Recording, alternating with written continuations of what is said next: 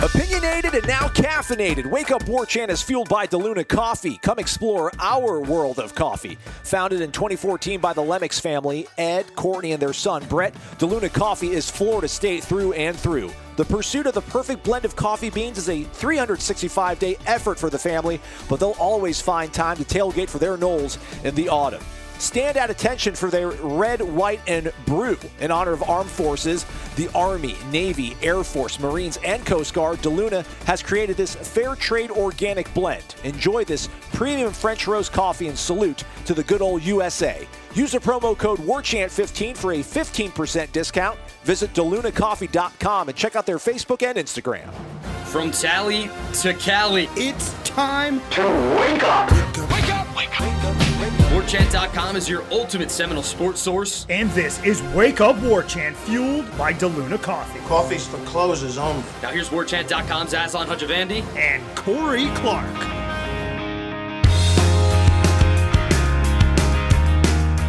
Wake up! What's up, everybody? It's Wake Up War Chant, fueled by DeLuna Coffee. DeLunaCoffee.com. Come explore our world of coffee. You know what's going down over at the website, everybody. The War Chant bundle. Scroll down about halfway there under the beautiful mug of, of the guys behind DeLuna Coffee. That'd be Ed and Brett, matriarchs Courtney. We love her as well. The bundle is one Wake Up War Chant tumbler a White Sands bag of coffee, folks. You either get the whole bean, you can get it coarsely ground, you can get it for your drip coffee maker, and a tin of chocolate covered sea salt caramels.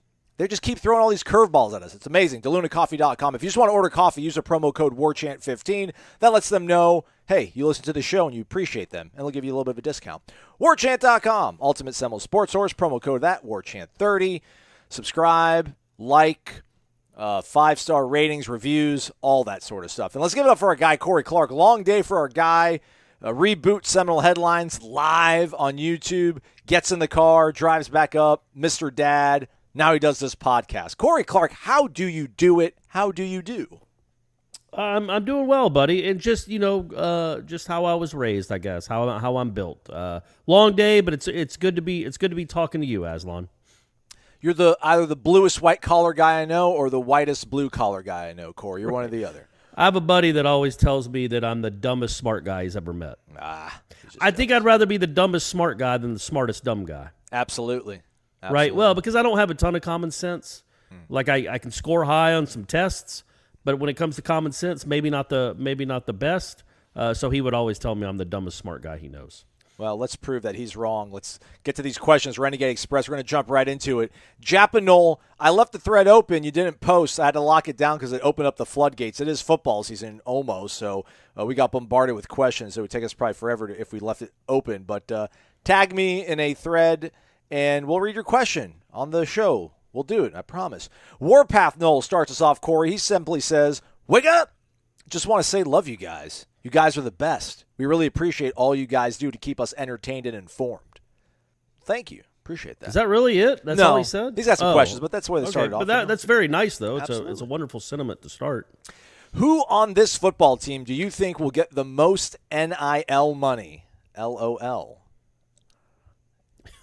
Okay. Um, yeah, there's not a lot of great uh, options out there, right? As far as like uh, big names right now. Like maybe Toafili becomes a big name. Uh, but right now, I guess Milton is the biggest name, but we don't even know if he's going to start, do we? Right. I mean, the, the easy answer is quarterback, Right. but we don't know which one.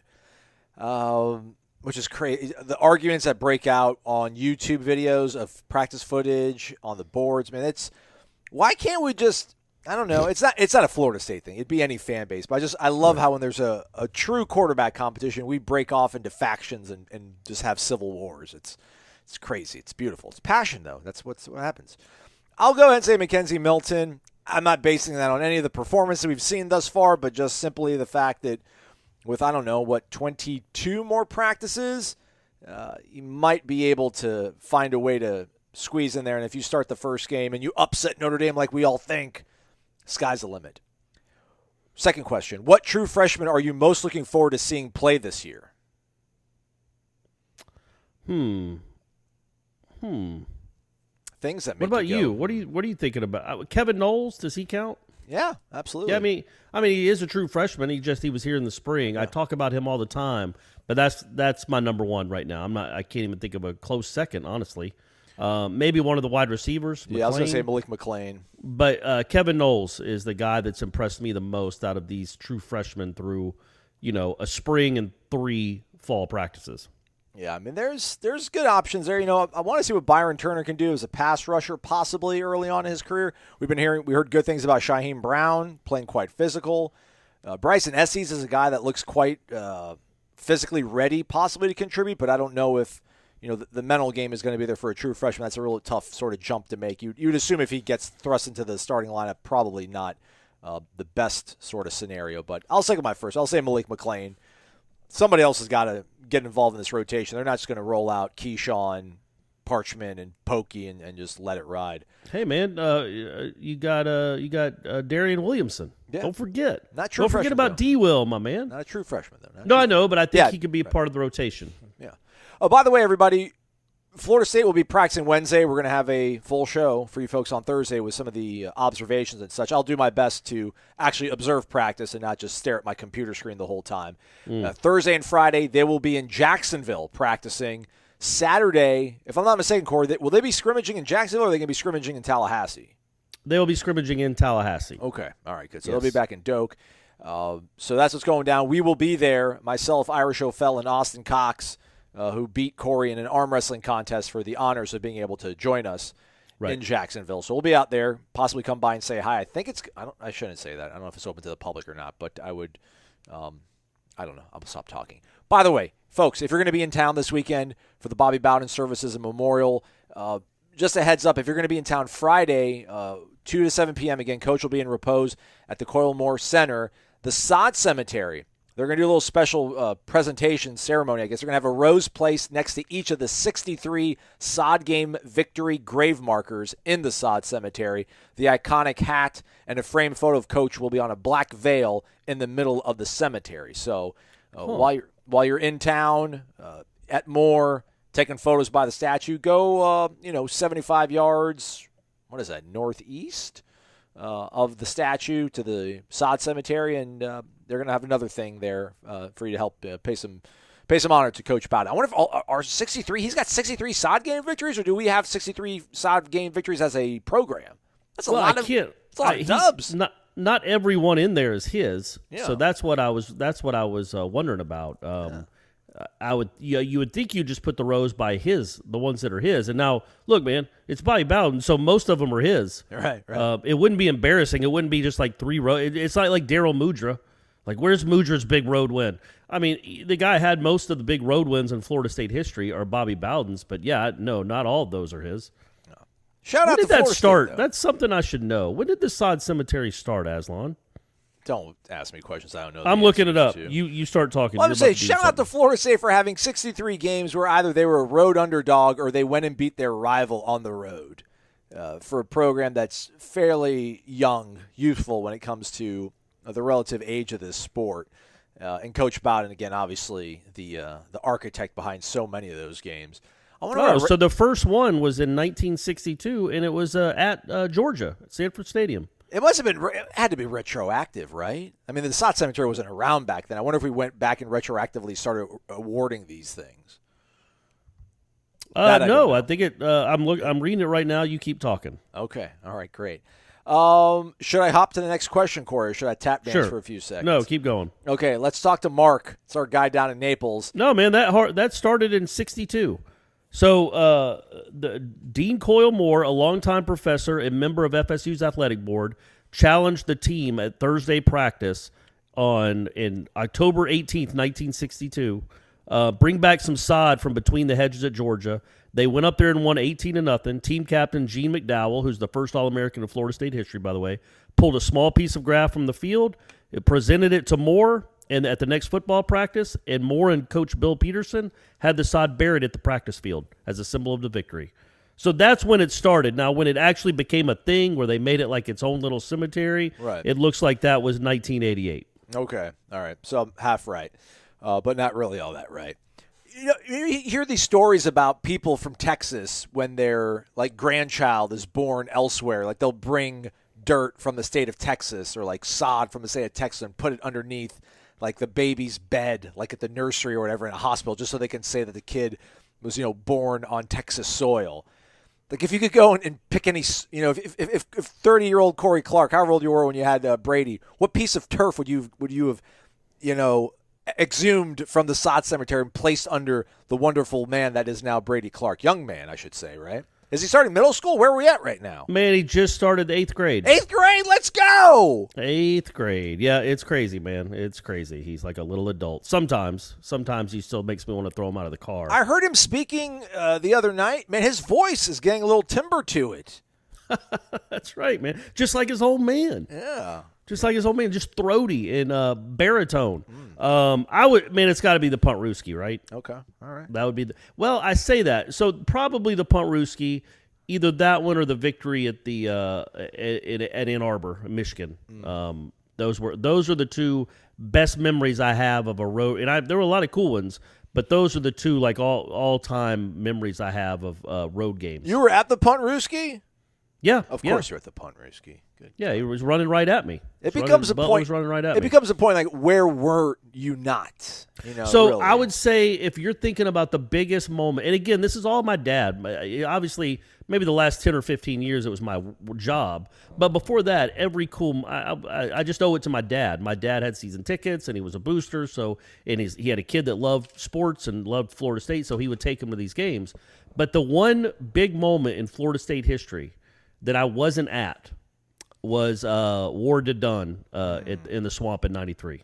because you, you you took the Notre Dame trip away from your sister, so you stepped away and let her go. Yeah, attend we got to choose. So I went to Notre Dame, and then she got to go to the Florida game. So that yeah, good job. Look at you remembering that. I would say that's the only one that I would be like, man, that that's the one that I I, I was I wasn't at that was like an all time Florida State memory. All the other ones, man, I'm very very lucky to have seen them. Back on the ponies, it's Mark in Naples, M. Adam, CZ. Wake up! Emotional week. You can't say enough great things about Coach Bobby Bowden. I got to meet him on a couple spring booster tours, and he had a way of making you feel special. My boys still have their footballs signed by Coach Bowden in their rooms, and they always will. Awesome, man. I uh, never got, I, I heard he was just an absolute just one man show on those booster tours. Like you, especially the golf golf outings. Like it was just always always a pleasure to be around Coach. Yeah, and it's funny. I, I have a pretty unique perspective there because as, as I wrote about my column, I've been going to those things since I was eight um, because they'd come to Atlanta, and Atlanta's a pretty big booster. At least it well, it is now. Back when it started, when I went to that first one in '83 or '84, I guess.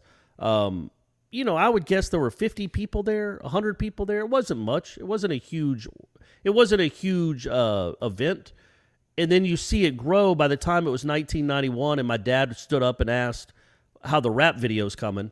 Um, you know i it, it might have been a thousand people there.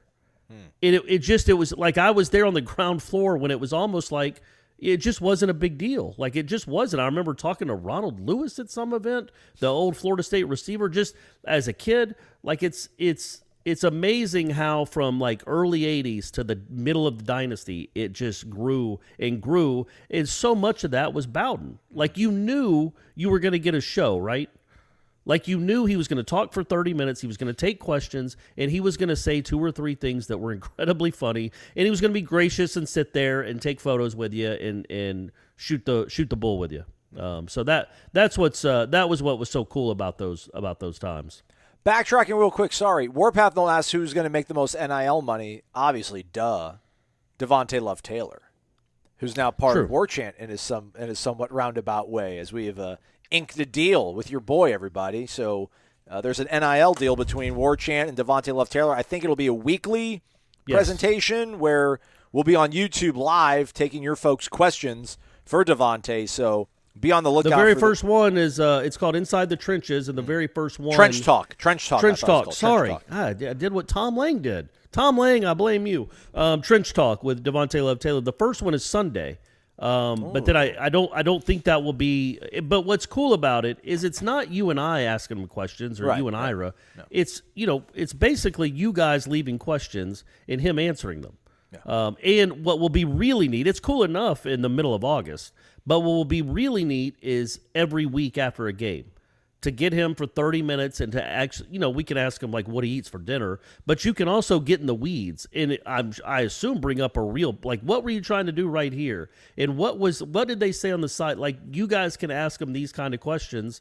Um, and he's a really, he's, he's the most intelligent person working for War Chant. I can tell you that. He's a really bright dude. Yeah. And um, it's just going to be, uh, I think it'll be really neat and a cool insight into the life of a, a student athlete in 2021. I keep bearing all the leads. I'm pretty sure it's Gene's birthday today too. So happy birthday, Gene. All right. Sorry about that. Back What's to he, Marcus. 40? The big oh? 4 0? I mean, our guys, Benjamin Button, are just frozen. Like Bob Yeah. Costas hasn't aged. It's It's frozen. crazy. time. He looks younger with that beard, too. All right, Mark's question. I have to say, or another comment, I have to say the content on War Chant is at a whole new level. It's always been great, but you guys are really bringing it. Well done. Thank you. Appreciate that, Mark. Having seen a few days of fall camp, what are you most impressed with? What are you most frustrated with? Go Noles. Mm. Corey. Defensive backs, I guess, is what you're going to say for being impressed. I'm sorry, I don't have really that educated of an answer on this one because again, I really haven't been able to, to observe as much as I would Yeah, like. Yeah, so it, that that's my answer for both, and I'm not trying to cop out here, but Whoa, like, the, how do- the- how's that No, work? no, no. That this matchup, DBs versus wide receivers. Um, The DBs I've been very impressed with. Um, wide receivers, man, I, it's just those. I, I just I'm caught up on the sideline throws, the fades, the jump balls down the sideline, the back shoulder stuff. They don't ever do well there. The receivers don't. Like they just don't make it. They're just not great at that yet. They're not even good at it yet. They're, I would guess, hitting because they do that a lot in the one on ones. They'll try it like I don't know six times, and I would say so far they've hit on four percent of them. Um, they, and they just you, you want guys that can maybe snatch the ball a little better, get their feet down, are more aggressive going towards the ball. But that's the, I mean I, I think that can be expected with a young wide receiver core and the the start of practice. But I've been really I guess disappointed is the right word with the way the receivers have looked specifically in the one on ones. They just they're not winning a lot of battles, except for Helton and Pokey. But Helton and Pokey, Keyshawn and Pokey aren't guys you would normally think. Okay, we're going to throw a jump ball to those guys, or, or a back shoulder. Back shoulders, sideline guys are you know they're typically bigger dudes. And Well, so far, out. Yeah. so far, Florida State's bigger guys haven't been great on that. Um, you know, in that way yet. Well, I've, I've had some time to think about it. Thank you, Corey. Not that you were trying to stall for me, but good answers. Appreciate it. Good insight. got Uh, I would say probably just the body composition of a lot of these guys. I think the offensive line, now granted, you know, they're not providing a lot of time for these quarterbacks in these 11 on 11s from what Corey's seen, and even the limited amount of time I've seen some stuff there. Uh, not exactly winning a lot at the point of attack. But I think, I really do think we, when we hear about defenses being ahead of offense at this point, especially when it comes like a pass rush, you know, all you got to do is just get up and go as a defensive lineman. It, it takes some time getting used to being an offensive lineman, dropping back in your sets, absorbing the blows, uh, and getting used to it, and kind of getting your sea legs there. So I, I think they'll be okay. But I just think you know they're you know Baveon's Baveon looks pretty good, man. I think physically they're in pretty good shape. I know people think that Dante looks like he's you know, a, a donut or two away from turning into like a WWE freak show. I don't necessarily see that. I don't necessarily count on Dante right now at this point, but then they have enough options there that are physically prepared. Um, you know, I think Malik McClain is another guy that looks pretty like he's really done well in the weight room. So I think they did good uh, in the weight room this summer. That's uh, what I'm most impressed with. Most frustrated with, and this probably sounds crazy. Just I want to see one of these quarterbacks just take it already. I know it's really early, guys. It's, it's three days, but it would be really great to have one of these guys have come out and just been pretty flawless through three practices. I know that's it's asking a lot. I don't Yes. have a necessarily a favorite. Everybody, some people think that we're picking favorites here. I would just think simply based on the amount of data we've seen from McKenzie Milton and Jordan Travis, McKenzie Milton's ceiling is probably a little bit higher. Uh, now, granted, that was maybe a lifetime ago before his injury, but I think he's made it past that physically. We'll see if mentally it clicks. Uh, but it'd be nice if we weren't talking about you know the quarterbacks not really uh, you know shining. It's more kind of uh, them running for their lives and the defense taking over. But we'll we'll see. I, I think Jacksonville the tide's going to change out there, Corey. The tide's going to change. Okay, let me clean up a little bit uh, real quick. I guess the Sod Cemetery theoretically, technically was. I was wrong. It wasn't '88. That's when Douglas. I read the Wikipedia wrong. Mm. That's when Douglas Mannheimer took over as the Sod Cemetery keeper. It's like the crypt keeper. Yeah, Um, but it, I guess it really did start in '62. Like it, it officially, there's this. They they I guess they you know, obviously it, it wasn't where it is now, but they they started building the, uh, the that's where the cemetery started. When was 1962, and I just I just counted it up, and Bowden did have 63. My So goodness. so there's it looks like there's probably I don't know, there's probably 50, maybe 20 before he started. 15 or 20 yeah, probably 15. They they were on a 6-year drought before uh before Bowden started. They hadn't had a sod cemetery game since October 24th, 1970 until Bowden got one in 76 and then they really started coming. And then uh yeah, it looks like so what's funny too about that, so the the the parameters were an underdog on the road well, Florida State in the '90s was was hardly ever an underdog. So then they, you know, it was underdog on the road or rivals. Right. So they made Florida and Miami Bowl count. games, too, I they made bowl games count, and then I think they even made it where like if you were less than a touchdown favorite on the road. So if Florida State was only a five point favorite, it still counted as a sod game. Oh, wow. Because like the '97, like the '97 game at UNC, where it was like number two versus number four, and Florida State won twenty to three. Um, there's no way North Carolina was favored to win that game. There's just no chance. But it still counted as a sod game, and I think I remember it was a long time ago now. Stuff's not staying in my brain as long as well as it used to. I'm almost positive they changed the parameters where it went from being a road underdog to being just barely a favorite on the road. Okay. Anyway, so I wanted to clean that up. Kirk Knowles. And gu- sorry, well, one thing. Sorry, sorry, Aslan. The last game you ever coached was a sod game. That's right. West Virginia. Not just because it was a bowl game, too. I mean, that was the main reason, but they were an underdog in that game. And, uh, yeah, they came out 33 21 victors. I would not even have guessed that there were 63 placards or tombstones in that cemetery, man. They really know how to maximize real Yeah, it seems well like done. it's about 30 Yeah, well done. when you walk by. Yeah, that, that's a, that, that'll be a really cool scene. I'm glad they're doing that. That's cool that they're doing that. Kirk Knoll, aka Shane. Wake up! What an emotional week to get through. I needed football to get back to practice and find something to take my mind off losing what I consider two of the greatest people I have ever had the honor of spending time with. Sadly, I only met Coach Bowden once, but for those five minutes at his book signing in Texas, he made me feel like I was the most important person he had ever met. Uh, shout out to Shane. I mean, by the way, he, he did email because he couldn't make these. Like, hey, sorry, I can't make the live show. Family emergency. Um, it's fine. It's fine, Shane. You know, take care of what you got to take care of, man. Uh, we'll be here for you. We're sorry for your loss, though, Shane. I, I saw that email, too. Sorry for your loss, buddy. Uh, practice is here. The coverage is the best and always keeps me up to date. So I did this last year and I wanted to bring it back again. Penalties. I'm a strong believer. You keep that number low, you'll increase your chances of winning games by a good margin. Mm. Last year we averaged 8.8 per game, down from 9.3 in 2019.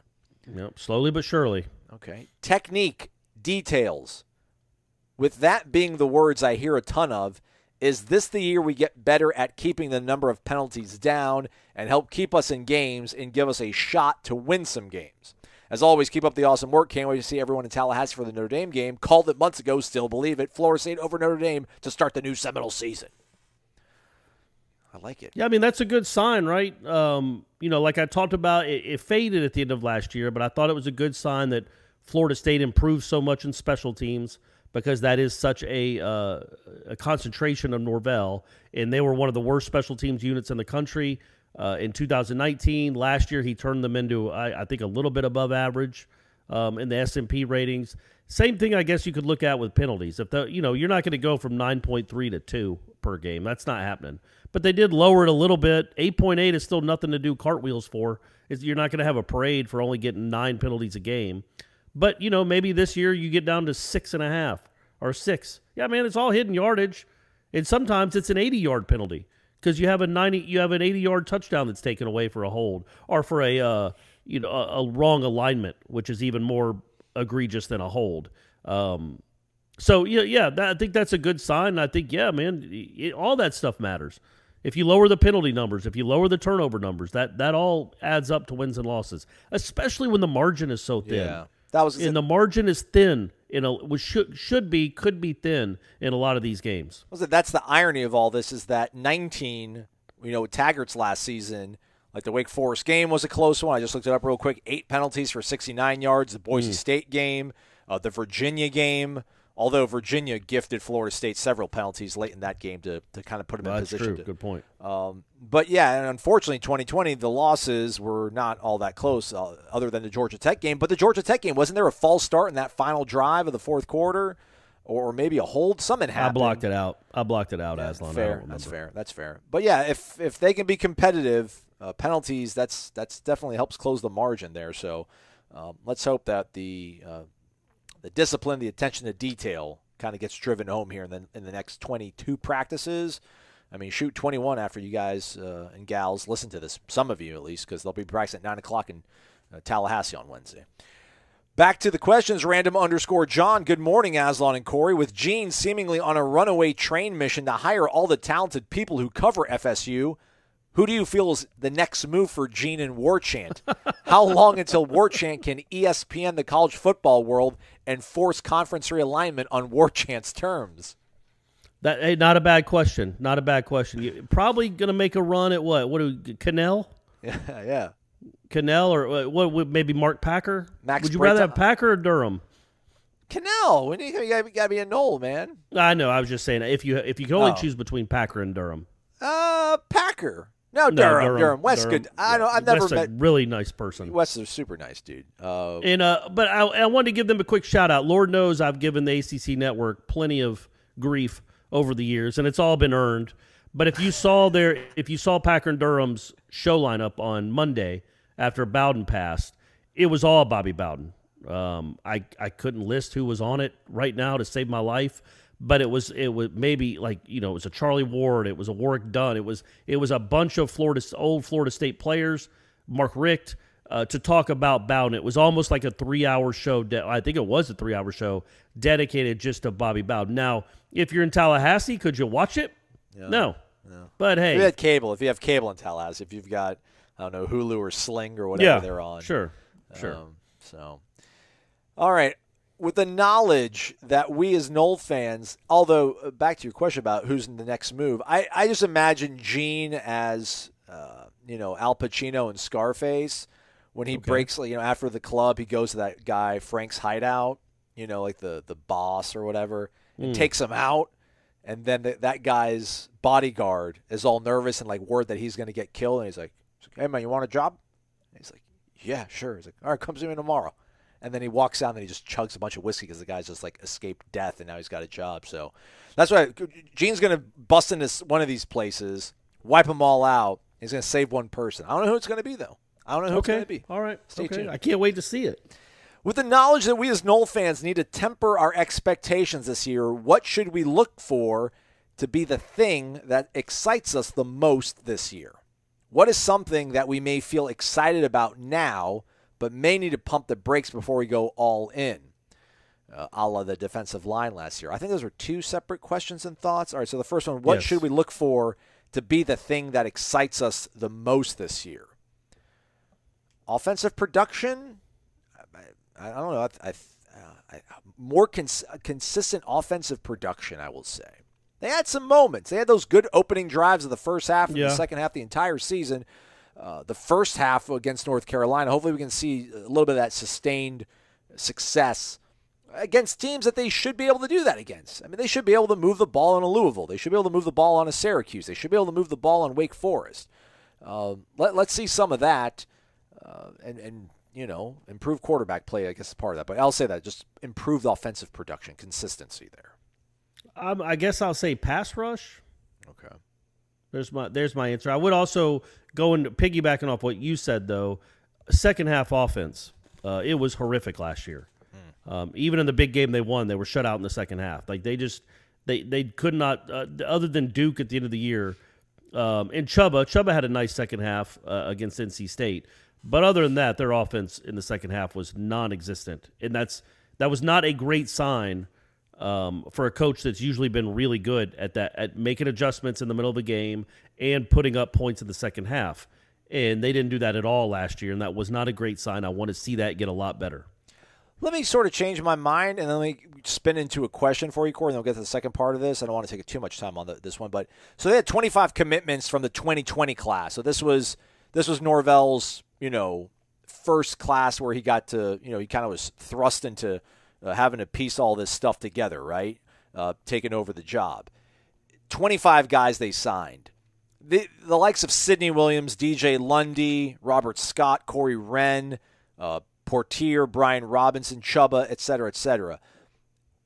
They're all still young. They're all still technically freshmen because nothing counted last year. Like, boy, I think you want to see at least, I don't know, five of those guys kind of give you a hope that maybe they can develop into being a an all conference performer. I don't know how much the Yeah. landscape of college football is going to change with the transfer portal and maybe your past mistakes you won't have to pay for your, your poor recruiting sins in years past because you'll be able to fix it with instant recruiting uh, transfers. But man, it'd be good to see some of the guys like a Darion Williamson, for instance, like one of these, at least five of these twenty-five. You know, give you something to where you're like, all right, this has shown their ability to evaluate talent really well and to find guys that are under recruited, but to find good value in them. I think if, if you can see these guys perform, uh, that makes you feel excited about the future. Okay, yeah, I can get on board with that. I agree. All right. What is something that we may feel excited about now, though, that we need to pump the brakes before we go all in? Defensive backs, I'm guessing, because that's Yeah. Uh, well, but I, I don't know that it's like, oh man, these guys are awesome. This is the Sky Patrol. This is like Deion and Martin Mayhew and those dudes and, and Leroy Butler. I just think it's the strength of the team, but there aren't a lot of strengths of this team right now, right? Like I think it's the best position group, but that doesn't mean I think it's one of the best in the country. Last year was a huge whiff because you know there were some magazines that had Florida State as having one of the best defensive lines in the country. Um, we thought it was going to be the strength, and it was going to be one of the better units in the country, and it was it was horrible. Um, it was one of the it was just awful. It was an it was awful terrible. performance from start to finish um, by those guys. So I don't think we're thinking of the DBs in that same vein. You know, I don't think this is the one of the best groups in the country. Um, I think they could be one of the best groups in the Atlantic. You know, that's something. Let's aim a little lower, so we're, we won't be uh, so uh, frustrated if they don't perform up to what we think they can do. All right. Uh, in closing, random underscore John says, by the way, drink DeLuna coffee while eating Zaxby's chicken tenders. They're called fingers, by the way. Uh, because it tastes good, it's the right thing to do, and it helps pay all the bills for Warchant and the sponsoring businesses. Um, yeah, help these people out, man. Ed, our guy Danny and Zaxby's, these are these are huge Florida State fans. They, they give to the program. I mean, they feed them coffee Yeah. and chicken. Come on. Uh, no judgment if you dip your tenders into your coffee. Random underscore John says. Oh, yeah, there is. Noles seven five six. Wake up!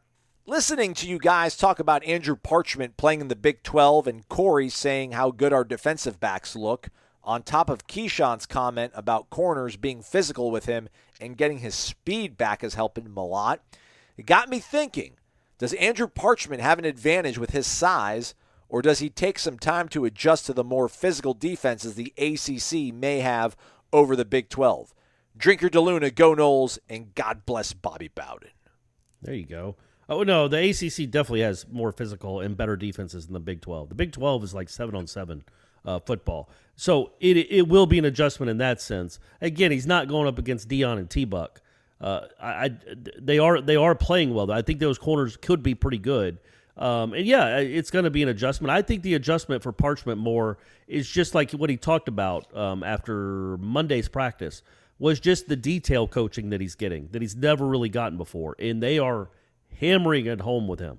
They want him to know that they're going to be on him, and they are on him, and that's what uh, that's where I think that the the you know I don't know if it's the physicality so much that's that's that will be an adjustment as much as just the pace, urgency, and the way that Norvell coaches and what he wants from his receivers. I think that's maybe more the adjustment than the physicality. You know, I, mentioned this to you, I think, on Monday. You know, Kenny's in his golf cart because he, he tore his patellar tendon, and he's outside with the quarterbacks in the brief sort of the beginning of practice. And he's got one eye on his quarterbacks. I thought he had two eyes on his quarterbacks, but he had one eye on what was going on inside the IPF, and it was something that Andrew Parchment did. But like he's yelling instructions to to Jordan and McKenzie and coaching them up, and then you hear him kind of echo all, off, and he's like, "Hey, Andrew, great rep, man, great rep, great effort."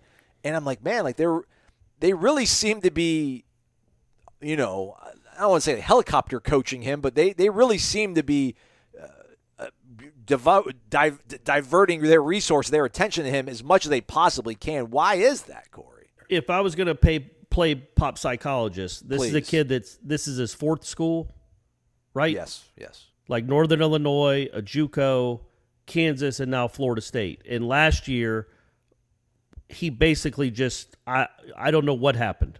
He played in those games, but 2019 he was one of the better receivers in the Big 12. 2020 he disappeared.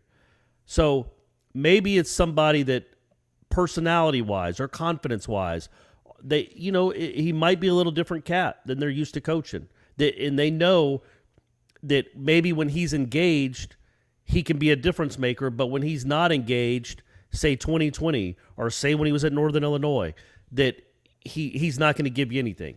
So there, I, I would I would assume that has something to do with it too. Like you're talking about a super senior that's at his fourth school in six years. This isn't Rashad Green.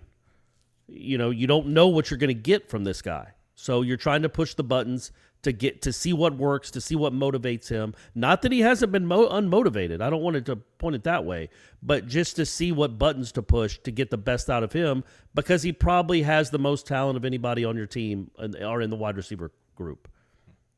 Spartan Knoll 71. It's Ralph in Hawaii. Aloha, guys. How's it? I need to like record that and play that whenever he, because that's what Yeah, he writes. should. He Yeah. writes it out. 14 days till I touch down in Tallahassee. The morning I land, I now have to jump in the car and take a ride to see Corey and Jeff in Pensacola. So Hmm. excited. Right. I guess he's going to do it. That's awesome, man. All right, Ralph. Nice. Question Has Warchant ever thought about putting together a preseason hype video? The event that you hype is not the first game, but instead the season opening Warchant meet and greet with your fans. You could splice in various caller comments over some B roll. Look at our guy. All these producers, everybody's a producer now, Corey. Yeah, yeah, exactly right. They're coming for your job, coming for your neck. Producer Ralph. Um, well, we need B-roll of the fans, not just the calling. I mean, maybe maybe we'll do a hype video for 2022 after we have vi- video of you all hanging out with us this year. Uh, hopefully, when we get that all hammered out. Uh, yeah, I'm sure. Yeah, I'm sure we'll, we'll we'll promote something for 2022, and I'll have footage of you, Ralph. You know, shotgunning a white claw. Um, that'll be our coup de grace shot there. Uh, Ralph says, I'm currently working on a very special gift for Ed to show my appreciation for DeLuna's sponsorship of the show. If he is at the Pensacola event, you think maybe he will let me kiss the ring? Sure. abs- Shoot. I would imagine he will, Your absolutely. Ring, bro. We're Yeah, no ring, lie. man. Come on. As always, mahalo for taking my question. Go root Warchant. Oorah. I was just so excited to say the oorah. I tripped over myself there. I would say that's on you, Aslan. You could put together a hype video. Yeah, I will for 2022. I just don't have I don't have a lot of B-roll. Oh, okay, all right. Well, he was saying, yeah, you're right. You're right. I mean, Yeah, if you go back in YouTube and all those all those live shows are archived, right? Yeah, but it's not good B-roll. It's you and I sitting in our houses like that. Right, you're talking, it's good voice. But you know, we want you know Jeff Cameron putting somebody in the head like, "Ah, yeah, what's going on?" And you know, What's going on, partner? Yeah, Yeah, I like got. Gene high fiving guys, and you know, Yeah, Tom Lang okay. playing beer pong, Ira just you know, expletive, uh, you know, expletive, you know, ridden, laced rants and stuff in the Right, parking like lot. he does. you know, yes, just- yeah, Get a hold exactly right. Ira. Uh, Gator one eight eight. Austin also doing something crazy with Michael Langston. All of us, the whole family. Uh, Gator one eight eight. Wake up! I'm sure he, he said it probably. Wake up! Very excited about the upcoming season. Appears the team is more bought in due to the roster changes. Success this year to me would be six or more wins. My belief is we will get six in the regular season. Not drinking the flavor aid with respect to eight plus wins. Your thoughts? Go Did he really type that? He did. He's not drinking the flavor aid. That's good for you, buddy. Uh, good for you, Gator Kirk. Um, that was Gator Kirk, right? Correct. That's- yep. Yes, yeah. That's. I brought that up on headlines today. Gator Kirk the- dropping it. How did it go? How did the live show go? By the way, I didn't get to watch. Yeah, I liked it. It was fun. It was good. It was it was a little if you look at the positioning of the camera where the camera is, like Jeff is to my hard right. So and I'm right in front of the camera. So of course my dome is just it's just glaring. But then every time I wanted to look at Jeff, you were just seeing the back of my fat neck. So I wasn't a huge fan of that. But other than that, everything it went well. We did we didn't cuss. It was live. We we didn't cuss. So uh but yeah, somebody brought up drinking the Kool-Aid and I said, once again, guys, it's Flavor Aid. And then my and then I was like, how did and then my thought was, how did Kool Aid let that? Wouldn't you have thought the Kool Aid people would have come out and be like, guys, that wasn't us.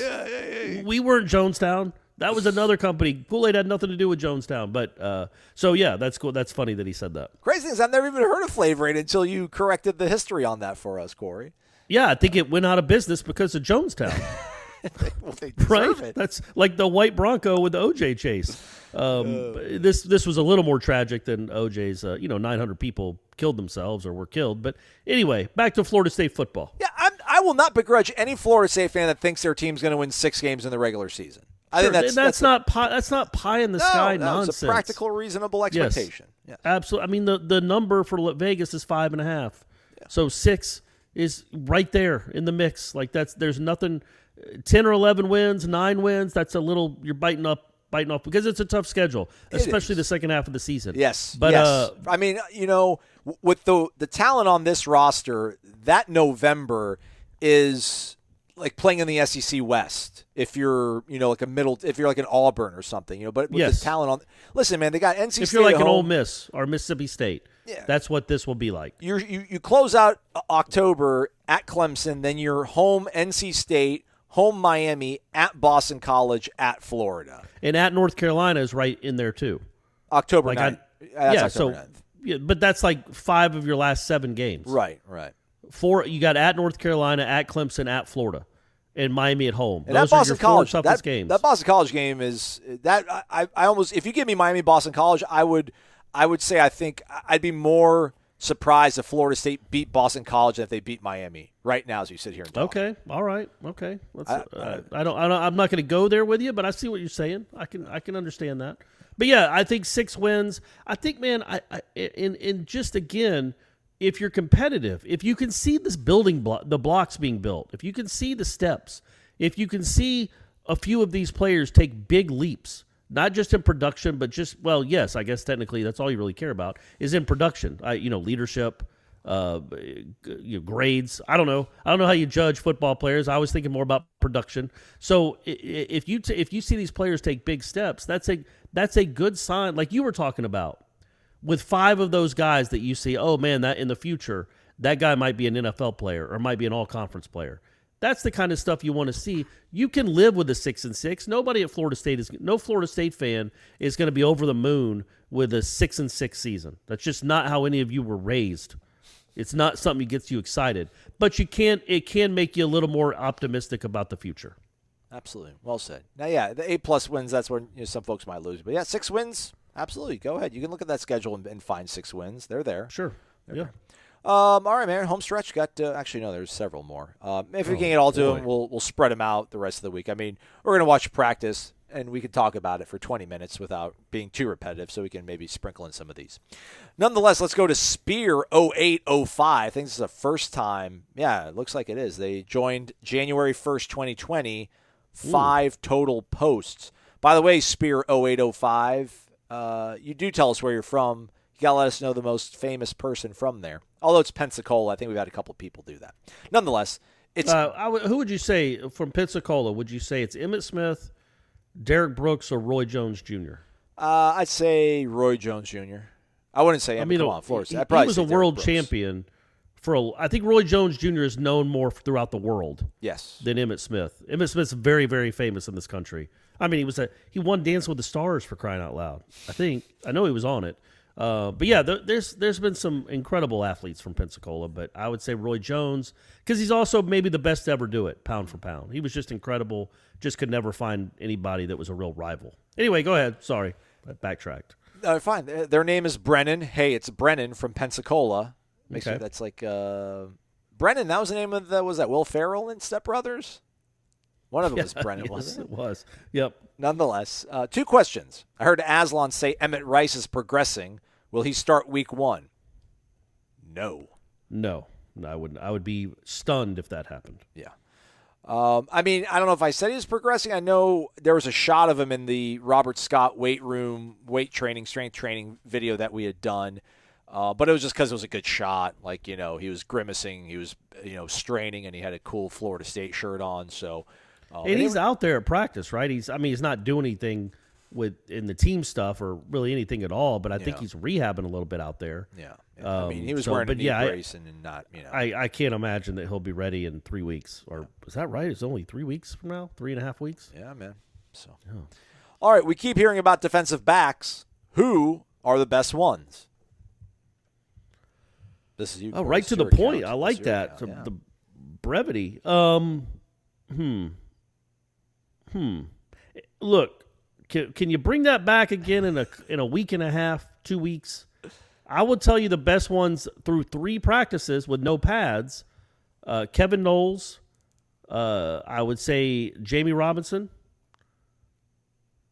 Uh, who else am I? Who else am I thinking? Who else am I missing? Jarvis Brownlee doing all right out there? Yeah, he's been he's been pretty. He's physical, man. He's he's been pretty good. What about Travis Um, J? Come on, Travis Jay. This is Travis Jay's year.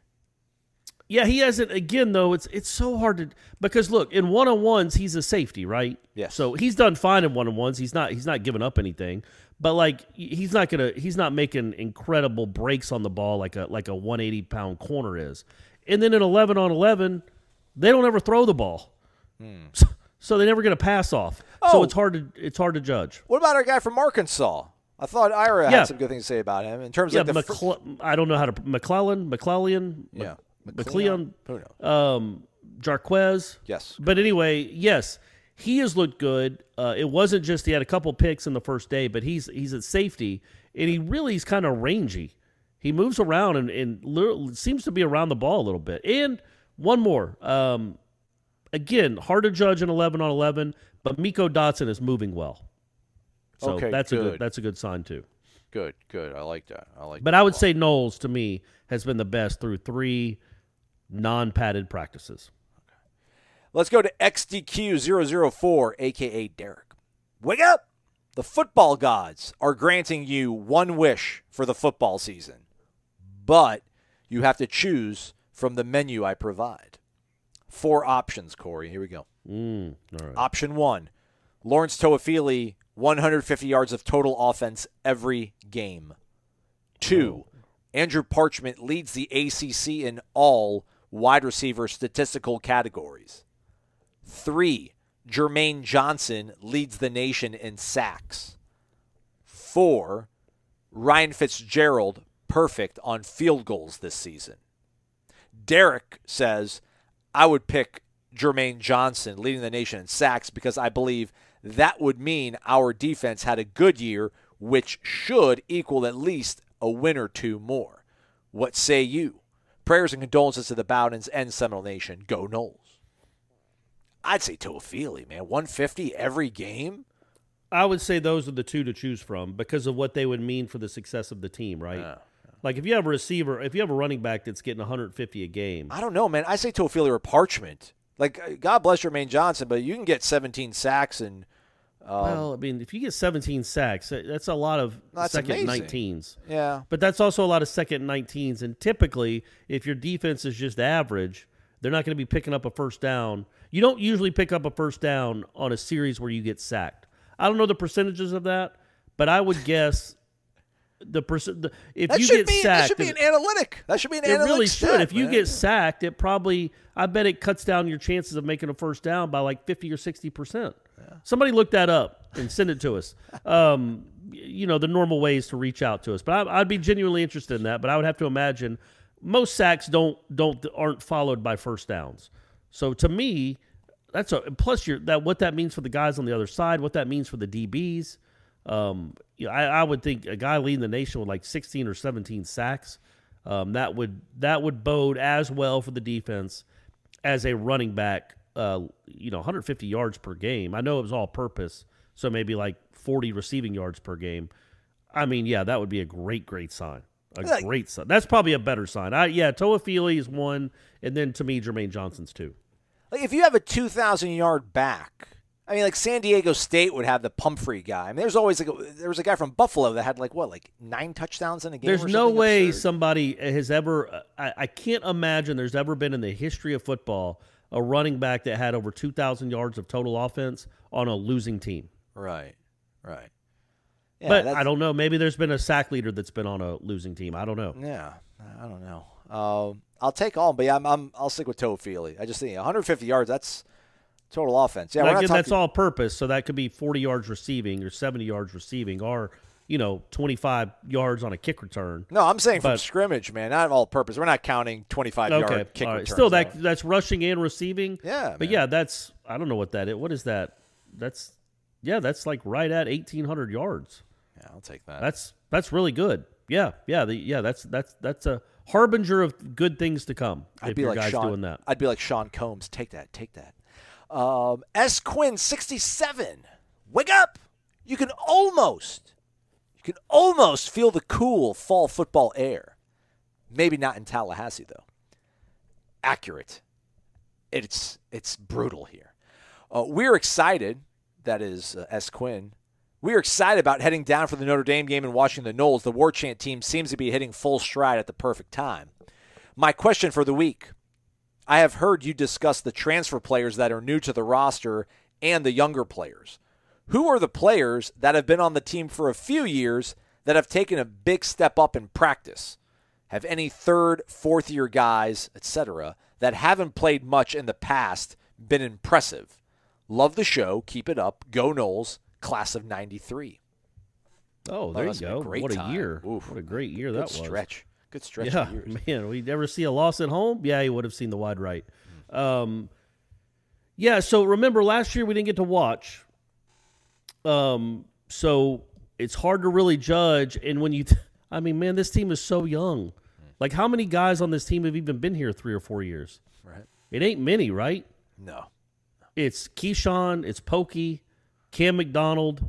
Ericer, Baveon. Yeah, but he's not practicing. Yeah, uh, yeah and you, you know, offensive lineman, it's really hard to tell right now because it's not in pads. That's a good question. Um, I, I don't want to say I'm going to punt on it, but I'm going to punt on it and tell you to ask it again in a couple of weeks after we've seen two weeks of them in pads. Um, right now, my answer is Keyshawn Helton. Um, he looks like a different dude. He looks a lot like the guy before he got hurt, um, but better. He's older. He's more experienced. Um, he's just he's fast, man. He's running away from people, and he's really he's he's kept all the quickness. Obviously, uh, he's been really impressive. I'm just I'm just trying to you know short sell. I'm trying to inflate the stock of Baveon Johnson. I mean, you know, uh, you know, Coach Norvell pointed out that he thought Baveon uh, has kind of put his best foot forward here. Yeah. Um, and I mean, again, this it's a, it's a tough category. You, have given us, you kind of put us into a corner, which is totally fine. I get it.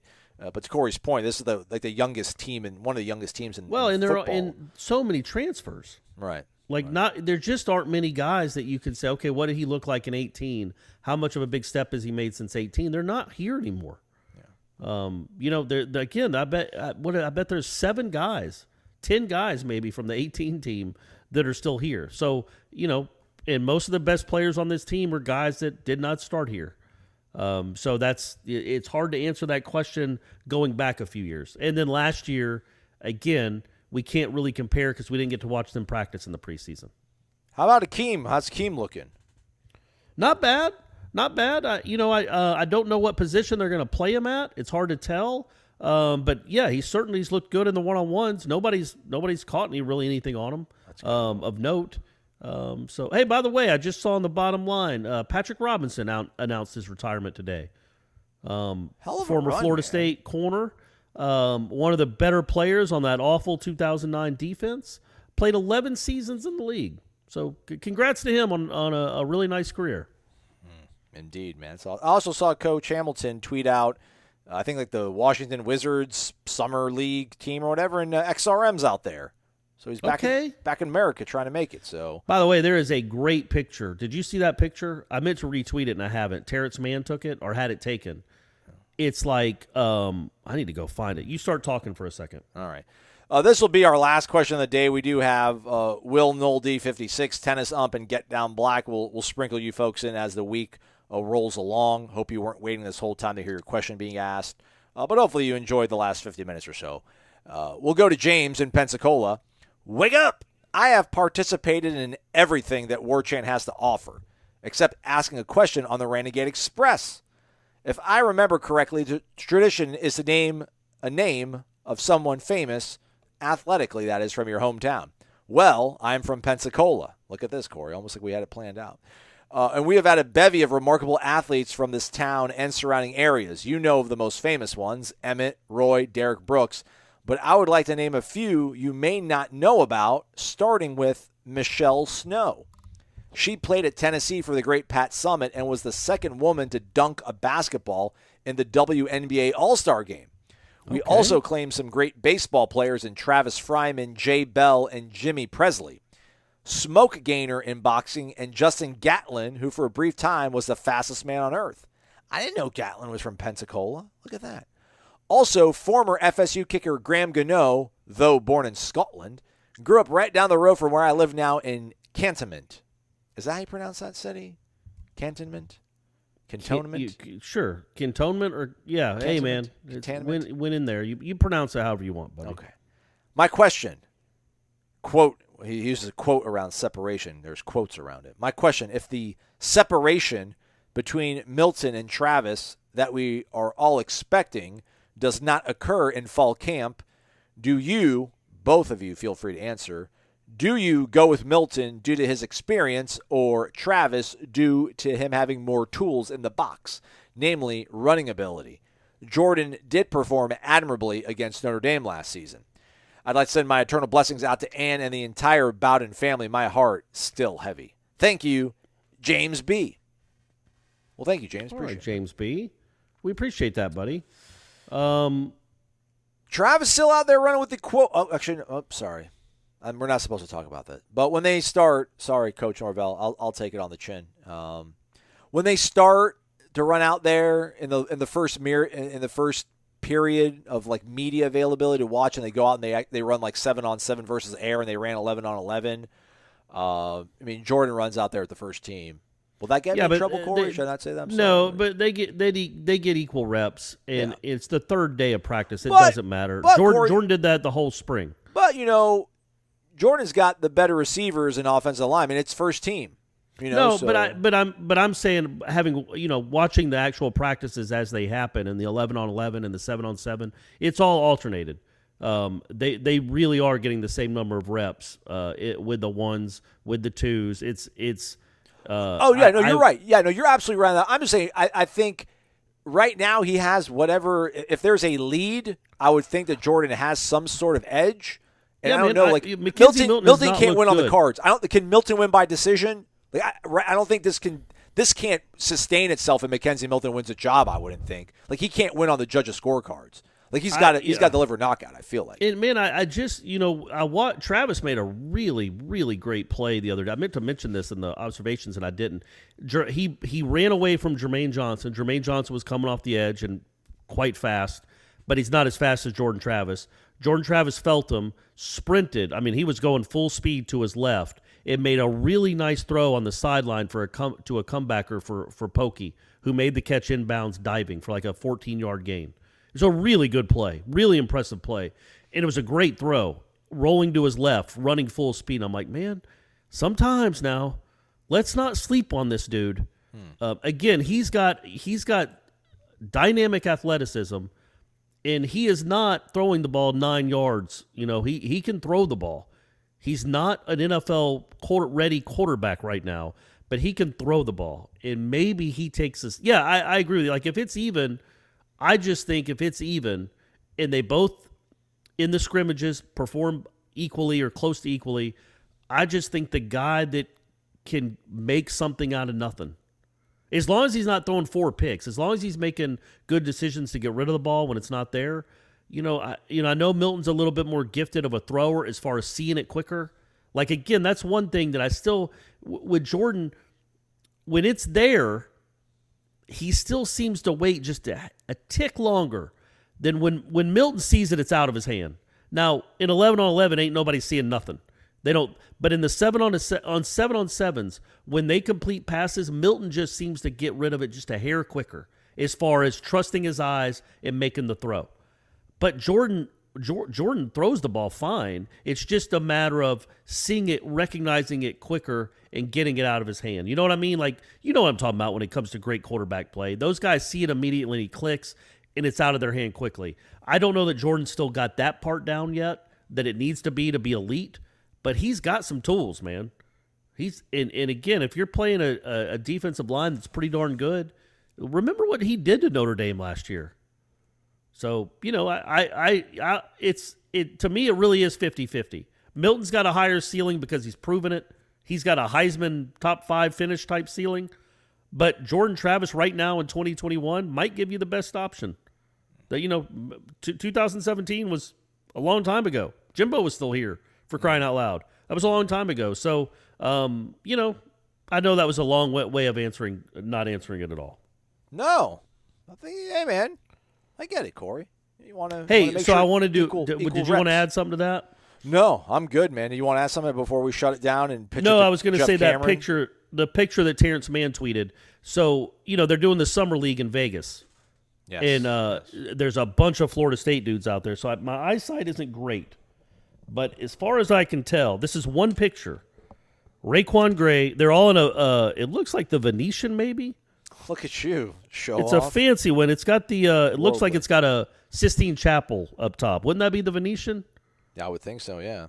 Yeah. Anyway, I you know, I don't know my Vegas casinos. I've only been out there once. Did you retweet it? Uh, Did, or do I No, I didn't mean to. I admit, I just liked it. I didn't retweet it. But Okay, it's it. RaiQuan Gray, Patrick Williams, Fiondu, Balsa, Balsa, Devin Vassell, PJ Savoy, who's not in the league, Terance Mann, Scottie Barnes, Trent Forrest, and John Isaac. That's all in like the last four years, five years. Yeah. All those guys are NBA players from the last five years, including three lottery picks and four first rounders total, or five first rounders total. Um, uh, no, four, five lottery. Vassell was a lottery pick too. Yes, correct. So three top six picks. Another. I mean, it's just a remarkable what that. It's really cool to see them all uh, taking a picture like that. Um, all, all the all the guys from the last four or five years, all out in Vegas, all living the NBA dream. Wait, did you just say top six? The lottery's more than six, isn't it? Like- No, I was saying, but Isaac, Isaac, Patrick Williams, and Scottie Barnes were all taken in the first six picks of the draft. Yeah, okay. Yeah, Vassell was a lottery pick too, but he was. I think the lottery's now fourteen picks. Yeah. So he was in the top fourteen. But yeah, yeah. So four lottery picks, five first rounders, and then uh, yeah, just Terance Mann in there, Trent Forrest. Yeah, good stuff. It's fantastic. All right, everybody. Uh, Jeff Cameron Show coming up 1 to 3 p.m., 93.3 FM terrestrial radio in Tallahassee, but also streaming live on Warchant TV. That's our YouTube channel, so do check it out. They're practicing Wednesday morning. We'll be out there. We'll provide some updates. I mean, not just some updates. I mean, we'll share observations and everything on the show for you folks tomorrow, which will be uh, broadcasting from Jacksonville. So uh, stay connected. We're rolling. I mean, there's stuff going on almost every single. Mean, we're almost like a 24 hour unit right. Uh, Yeah, it's right crazy. now. It's crazy. It's amazing. All because of you folks. Like I mean, literally, all because of the passion and the uh, the undying loyalty you have to Florida State athletics. So we can't thank you enough. He's Corey. I'm Aslan. Thanks so much for listening to Wake Up Warchant, fueled by WarChant.com is the ultimate inside source for FSU football and recruiting. And now you can get in on the action for free for an entire month. WarChant.com is offering a risk-free 30-day trial subscription. Get full access to the number one website covering the Seminoles just by entering the promo code WarChant30. That's WarChant30. Sign up and get in on the world's most active FSU message boards. Receive breaking news, stories from our award-winning staff, plus get exclusive interviews and videos. Just enter the promo code WarChant30. WarChant.com, your ultimate Seminole sports source.